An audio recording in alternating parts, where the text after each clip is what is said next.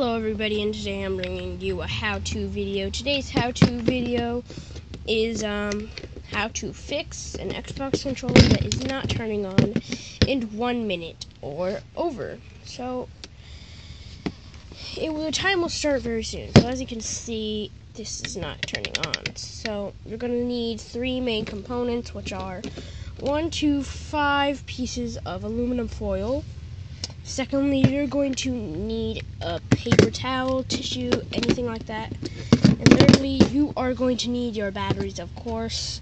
So you're first going to take out that. And now let's start. So you're going to take these pieces of tinfoil and stack them on the inside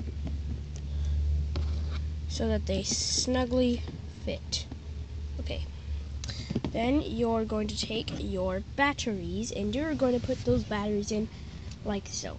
You're going to make the first one go in with the positive facing down. As you can see, and then put the second side with the positive facing up.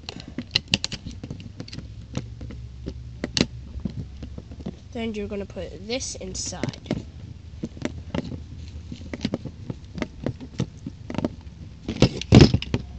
And now it will turn on.